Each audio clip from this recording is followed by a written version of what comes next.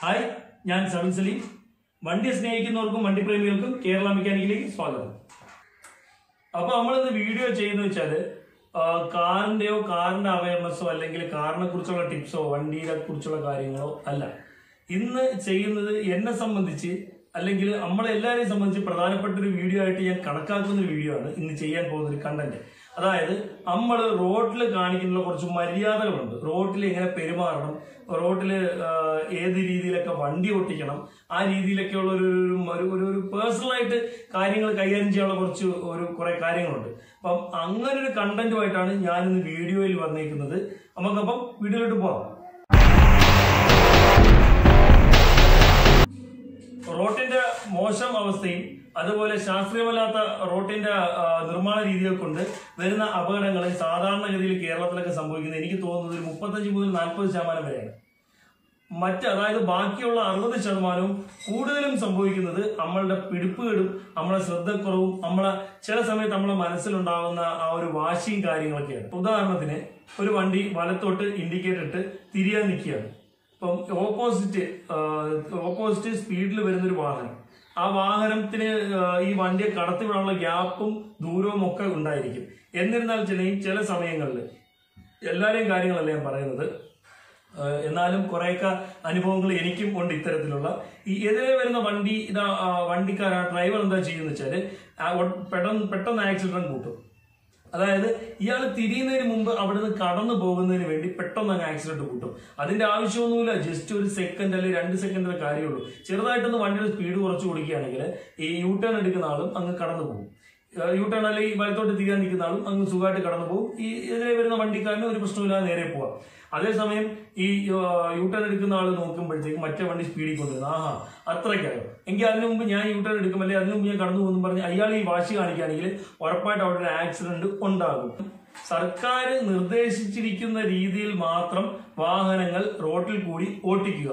അമിത വേഗത. അതായത് ഇപ്പം ഓരോ വാഹനത്തിനും നിർദ്ദേശിച്ചേക്കുന്ന രീതിയിലുള്ള ആ വേഗതയ്ക്ക് കൂടുതലായിട്ട് നിങ്ങൾ ഒരു കാരണവശാലും വണ്ടി ഓട്ടിക്കാൻ ശ്രമിക്കരുത്.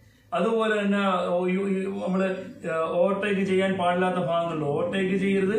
മറ്റുള്ള വണ്ടിക്കാർക്ക് കൺഫ്യൂഷൻ ആവുന്ന രീതിയിൽ നമ്മൾ വാഹനം ഓട്ടിക്കരുത്.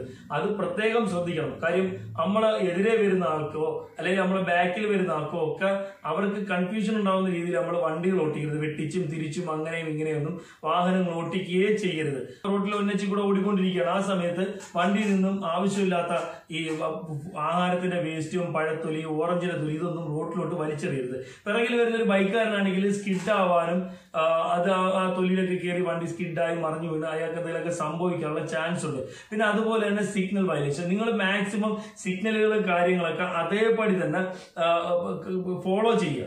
അതായത് ഇപ്പം മഞ്ഞ കത്തി ഇപ്പം ഞാൻ ഞാനും ഞാനും ഒരു പക്ഷേ ഞാനും ചിലപ്പോഴൊക്കെ ചെയ്തിട്ടുണ്ടായിരുന്നിരിക്കാം. ആ, നമ്മൾ മഞ്ഞ കത്തി കിടക്കുകയാണ്. ഓ ഇപ്പം ചുവപ്പ് കത്തുമല്ലോ എന്നും പറഞ്ഞ് വിട്ടുപോകരുത്.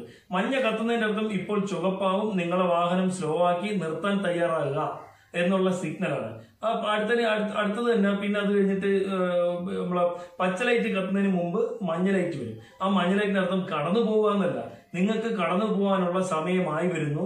വണ്ടി സ്റ്റാർട്ട് ചെയ്ത് തയ്യാറാവുക എന്നുള്ളൊരു സിഗ്നലാണത് അപ്പം ഒരു കാരണവശാലും സിഗ്നൽ വയലേഷനും കാര്യങ്ങളും ഒന്നും ചെയ്യരുത്. പിന്നെ ഓരോ സ്ഥലത്തും ഓരോ രീതിയിലുള്ള സ്പീഡ് ക്രമീകരണങ്ങളൊക്കെ സർക്കാർ വെച്ചിട്ടുണ്ട്. അതൊക്കെ കൃത്യമായിട്ട് പാലിക്കാൻ ശ്രമിക്കുക. നിങ്ങൾ പാലത്തിലൊക്കെ പാലത്തിൽ വലിയ വളവിൽ നമുക്ക് കാണാൻ പറ്റാത്ത ഭാഗങ്ങളിലൊക്കെ ഓവർടേക്ക് ചെയ്യാനോ ഒന്നും ശ്രമിക്കരുത്. പ്രധാനമായിട്ടും ഇപ്പം നമ്മളെ ഫ്രണ്ടിൽ വലിയ വണ്ടിയാണ് പോണത്. നമ്മൾ ആ വണ്ടിയുടെ ഫ്രണ്ടിലും നമ്മളെ ഓപ്പോസിറ്റുള്ള കാര്യങ്ങൾ കൃത്യമായിട്ട് കണ്ട് മനസ്സിലാക്കി ബോധ്യപ്പെട്ടതിന് ശേഷം മാത്രമേ വണ്ടിയില്ല കുഴപ്പമില്ല എന്നുള്ളത് ബോധ്യപ്പെട്ടതിന് ശേഷം മാത്രമേ നമ്മൾ ഓവർടേക്ക് ചെയ്യാവുള്ളൂ. ചിലർ പറയും ഹോൺ അടിക്കുന്നതൊക്കെ വിശ്വാസക്കുറവ് അതായത് ആത്മവിശ്വാസത്തിന്റെ ഒരു കുറവാന്നൊക്കെ ചിലരൊക്കെ പറയും. ഞാൻ ബുക്കിലും വായിച്ചിട്ടുണ്ട്. പക്ഷെ അങ്ങനൊന്നുമില്ല. നമ്മൾ ആ വണ്ടിയെ ഓവർടേക്ക് ചെയ്യാൻ നേരത്ത് ചെയ്ത് കയറിക്കൊണ്ട് വരുമ്പം ഒന്ന് പതുക്കെ ഹോൺ അടിച്ചാലും ഉപദ്രവിക്കണമെന്നില്ല ഹോൺ അടിച്ച് ഉപദ്രവിക്കണമെന്നില്ല. ഹോൺ ഒന്ന് അടിച്ച് ഞാൻ കയറിയാണ് എന്നുള്ളൊരു സിഗ്നൽ കൊടുക്കുന്നത് ഏറ്റവും നന്നായിരിക്കും. എന്ത് കാരണവശാലായിക്കോട്ടെ ഒരു വണ്ടിയുടെയും ഇടത്തെ സൈഡിൽ കൂടി ഓവർടേക്ക് ചെയ്യാൻ ഒരു കാരണവശാലും ശ്രമിക്കരുത്. പരമാവധി വലത്തെ സൈഡിൽ കൂടെ തന്നെ ഓവർടേക്ക് ചെയ്യാൻ ശ്രമിക്കുക. ഓവർടേക്ക് ചെയ്യാൻ ചെയ്യുമ്പോൾ തന്നെയും അതിന്റെ അതായത് ഫ്രണ്ടിൽ വരുന്ന വണ്ടികളും ബാക്കിയുള്ള കാര്യങ്ങളൊക്കെ ശ്രദ്ധിച്ചിട്ട് വേണം ഓവർടേക്ക് ചെയ്യാൻ. പിന്നെ അതുപോലെ ഇപ്പൊ നമ്മൾ കൂട്ടുകാരൊക്കെ ആയിട്ട് ഒരു വിനോദയാത്രയ്ക്കും മറ്റും പോകുമ്പോഴത്തേക്ക് നമ്മളിപ്പോ പാട്ട് പാടും അല്ലെങ്കിൽ അവരെ കൂടെ തമാശകൾ പറയും എല്ലാം ചെയ്യും. പക്ഷേ കൺട്രോളും മൈൻഡും എപ്പോഴും കയ്യിലും മനസ്സിലും കയ്യിലും മനസ്സിലും ഉണ്ടായിരുന്നിരിക്കണം. നമ്മളെ മെമ്മറി എപ്പോഴും നമ്മളെ ചിന്തയും നോട്ടവും കൈയും കാലും പ്രവൃത്തിയും എല്ലാം പൂർണമായിട്ടും ഡ്രൈവിംഗിലായിരിക്കണം അതുപോലെ തന്നെ ഒരു കാരണവശാലും ഒരു ശതമാനം പോലും മദ്യപിച്ചിട്ടോ നമ്മൾ ഒരുപാട് നമുക്ക് മയക്കം വരുന്ന മരുന്നുകളൊക്കെ ഉണ്ടല്ലോ അതൊക്കെ കഴിച്ചിട്ടോ ഒന്നും നമ്മൾ ഒരു കാരണവശാലും വണ്ടികൾ ഓട്ടിക്കരുത്. പിന്നെ അതുപോലെ നിങ്ങളൊരു ദീർഘ ദൂര യാത്ര പോവുകയാണ്. കൂടി ഒരു ഒരു എഴുന്നൂറോ അല്ലെ ആയിരമോ കിലോമീറ്റർ ഒക്കെ പോകുന്ന ഒരു യാത്ര പോവുകയാണ്. നിങ്ങൾ നിങ്ങളെ കൂടെ തീർച്ചയായിട്ടും ഒറ്റയ്ക്ക് പോകാൻ ശ്രമിക്കാതെ തീർച്ചയായിട്ടും ഒരു ഡ്രൈവിംഗ് അറിയാവുന്ന സുഹൃത്തിനെയും കൂടി നമ്മൾ കൂടെ കൊണ്ടുപോകണം. കാരണം വെച്ചാൽ നമ്മൾ ഓട്ടിച്ച് ടയേർഡ് ആകുമ്പോഴത്തേക്ക് സുഹൃത്തിന്റെ അടുത്ത് ഓട്ടിക്കാൻ പറയുക. ഓട്ടിക്കുമ്പോഴത്തേക്ക് നമുക്ക് മയങ്ങാം ഒന്ന് റെസ്റ്റ് എടുക്കാം. അങ്ങനെ പരസ്പരം സഹകരിച്ച് നിങ്ങൾക്ക് ഒരു പ്രശ്നവുമില്ലാതെ സുഖമായിട്ട് ആ ഇത്രയും കിലോമീറ്റർ പോയി തിരിച്ചു വരാൻ പറ്റും. അതുപോലെ തന്നെ നമ്മൾ രാത്രി കാലങ്ങളിൽ വണ്ടി ഓട്ടിക്കുമ്പോഴത്തേക്ക് ഉറക്കം വരികയാണെങ്കിൽ എനിക്ക് തോന്നുന്നത് നമ്മൾ രാത്രിയൊക്കെ നിരന്തരം ഇരുന്ന് ഓട്ടിച്ച് നമ്മൾ രണ്ട് മണി കഴിയുമ്പോഴത്തേക്കൊക്കെ മിക്കവാറും ഒരുപെട്ട എല്ലാവർക്കും ഉറക്കം വരാനുള്ള ചാൻസ് ഉണ്ട്. അപ്പം വണ്ടിയിൽ ഏതെങ്കിലും രീതിയിൽ ഇത്തിരി കാപ്പി ഒരു ഫ്ലാസ്കിൽ വെച്ചേക്കുക അങ്ങനെ എന്തെങ്കിലും വല്ല ജ്യൂസ് വല്ല മാറ്റി കുടിക്കുക അങ്ങനെയൊക്കെ ചെയ്ത് മാക്സിമം കൺട്രോൾ ചെയ്യുക.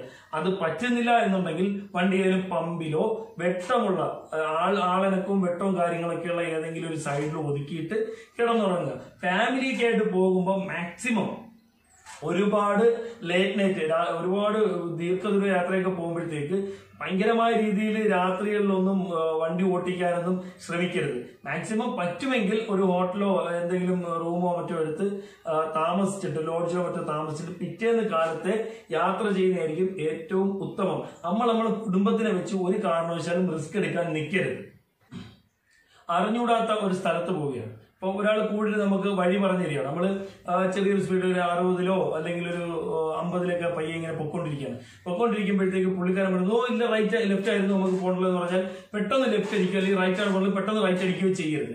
നമുക്ക് കംഫർട്ട് ആയിരിക്കണം. വണ്ടി ലെഫ്റ്റും റൈറ്റും എടുക്കുന്നതിന് മുമ്പ് കംഫർട്ട് ആയിരിക്കണം. ആ നമുക്ക് വണ്ടി വഴി തിരിയാൻ പറ്റിയില്ല എന്നുണ്ടെന്നും പറഞ്ഞ് പെട്ടെന്ന് റോഡിൽ ചവിട്ടി നിർത്തി തടയെന്ന് പറഞ്ഞ് വണ്ടി എന്ന് ചെയ്ത് കളയരുത്. എന്താ വേണം? നമ്മൾ ശരി നമുക്ക് ആ വളവ് വളയ്ക്കാൻ പറ്റിയില്ല. നമുക്ക് കുറച്ചും കൂടെ മുമ്പോട്ട് പോയി യൂ ടേൺ എടുത്ത് വന്നിട്ട് തിരിക്കുക. അങ്ങനെയൊക്കെ വേണം ചെയ്യാൻ. അല്ലാതെ എനിക്ക് പലർക്കും അമ്മ ഞാനുൾപ്പെടെ പലർക്കും സംഭവിച്ചിട്ടുള്ള അമളികളും കാര്യങ്ങളൊക്കെ തന്നെയാണിത്. ഇപ്പം ഞാൻ എന്റെ അനുഭവത്തിൽ നിന്നാണ് പല കാര്യങ്ങളും നിങ്ങളോട് പറയുന്നത് തന്നെ. എന്നും പറഞ്ഞ് ഞാൻ ഓട്ടിക്കുന്നത് റെസ്റ്റ് ഡ്രൈവ് ചെയ്യുന്ന ഒരാളല്ല. പലപ്പോഴും സംഭവിച്ചു പോകുന്ന ചില കാര്യങ്ങൾ. അതൊക്കെയാണ് ഞാൻ നിങ്ങളോട് ശരിക്കും പറഞ്ഞാൽ ഇപ്പോൾ പങ്കുവെച്ചോണ്ടിരിക്കുന്നത്.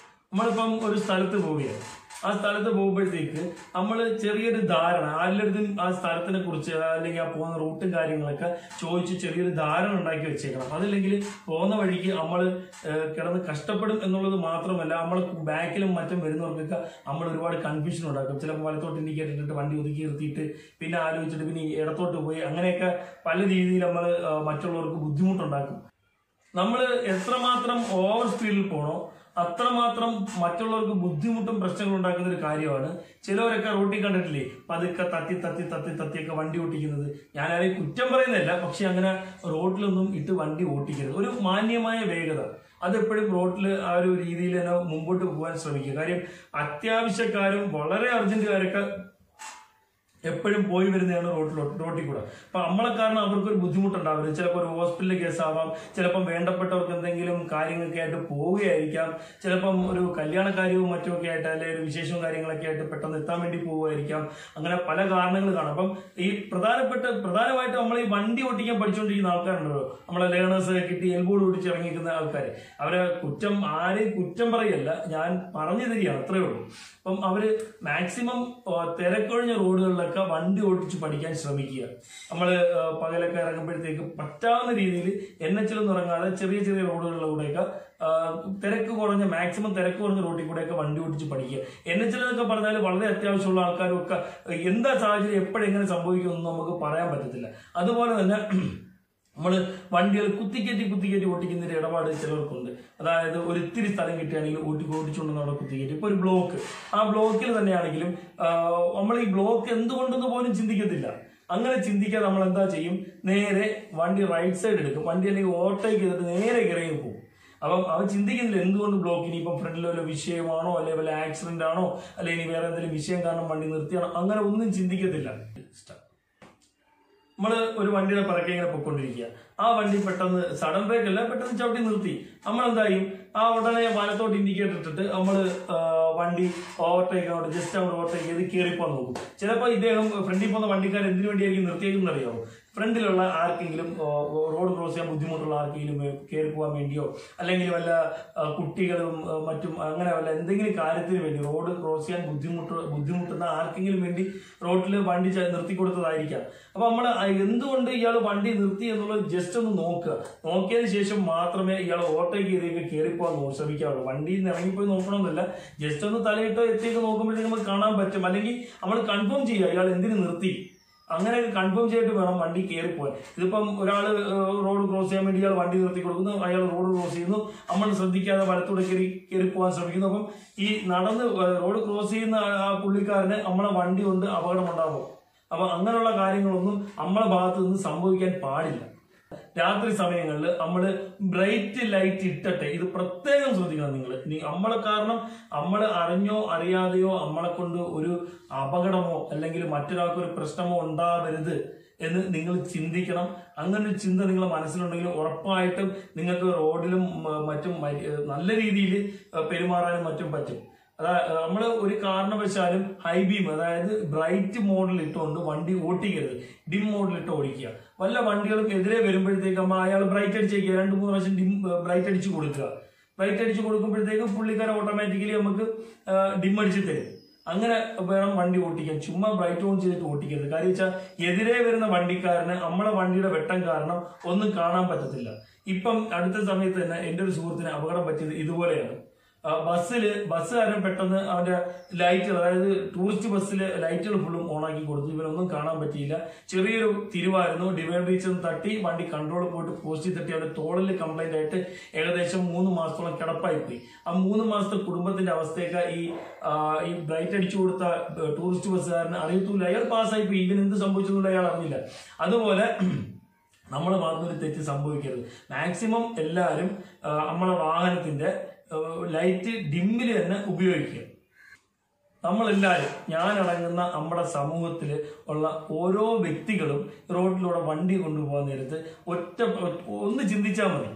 അതായത് ഞാൻ വണ്ടി ഓട്ടിക്കുന്നെങ്കിൽ മറ്റുള്ളവർക്കും കൂടെ ഒരു സ്പേസ് റെസ്പെക്ട് കൊടുത്ത് വണ്ടി ഓട്ടിക്കും. അങ്ങനൊരു കാര്യം മാത്രം അതായത് സിഗ്നലും എല്ലാം നോക്കി സർക്കാർ പറയുന്ന നിർദ്ദേശങ്ങളും പിന്നെ ഓരോ ഓരോരുത്തരും വ്യക്തിപരമായിട്ട് പാലിക്കേണ്ട കുറച്ച് കാര്യങ്ങളും. ഇതെല്ലാം ഞാൻ അനുസരിച്ച് വണ്ടി ഓട്ടിക്കും എന്ന് മനസ്സിൽ ഉറപ്പിച്ചാൽ മാത്രം മതി. മനസ്സിൽ ഉറപ്പിച്ച് വണ്ടി ഓടിച്ചാൽ മാത്രം മതി. കേരളത്തിൽ ഇപ്പൊ നിലവിലുള്ള അപകടങ്ങളുടെ റേറ്റൊക്കെ ഒരുപാട് താഴെയായിരിക്കും ഇനി വരുന്ന കാലങ്ങളിൽ. അങ്ങനെ ചിന്തിച്ച് മാത്രം നിങ്ങൾ വണ്ടി റോഡിലിറക്കി ഓടിച്ചു നോക്ക്. അപകടങ്ങളുടെ റേറ്റൊക്കെ ഒരുപാട് താഴെ വരും. റോഡ് അപകടം സംഭവിച്ചു. അത് നമ്മൾ കണ്ടു. മാക്സിമം അയാളെ ഹോസ്പിറ്റലിൽ എത്തിക്കാൻ ശ്രമിക്കുക. അത് കണക്ക് തന്നെ നമ്മളെ വണ്ടി തട്ടിയിട്ട് ഒരാൾക്ക് പരിക്ക് പറ്റി. അയാൾ നമ്മളെ ന്യായങ്ങൾ പറയാതെ അവിടെ നിന്ന്, നിങ്ങൾ അങ്ങനെ കയറി വന്നു. അല്ലെങ്കിൽ അവരെ കുറ്റമോ നമ്മളെ കുറ്റമോ എന്തോ ആയിക്കോട്ടെ. എങ്ങനെയോ ആയിക്കോട്ടെ. അത് ന്യായങ്ങൾ നമ്മൾ അവിടെ നിന്ന് പറയാതെ അയാളെ ഹോസ്പിറ്റലിൽ എത്തിക്കാൻ മാക്സിമം ശ്രദ്ധിക്കുക. മാക്സിമം ശ്രമിക്കുക. ശ്രദ്ധിക്കുക എന്നുള്ളതല്ല. മാക്സിമം മാക്സിമം ശ്രമിക്കുക.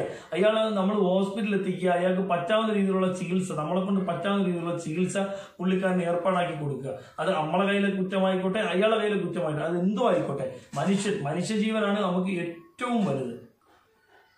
നമ്മൾ ഓരോരുത്തരും ജീവിച്ച് ജീവിച്ചിരിക്കുന്ന കാലയളവ് അത്രയും ഒരാൾക്കും നമ്മളെ കാരണം അപകടം ഉണ്ടാവാതിരിക്കാനും നമുക്ക് അപകടം ഉണ്ടാവാതിരിക്കാനും ജഗദീശ്വരനോട് നമുക്ക് പ്രാർത്ഥിക്കാം.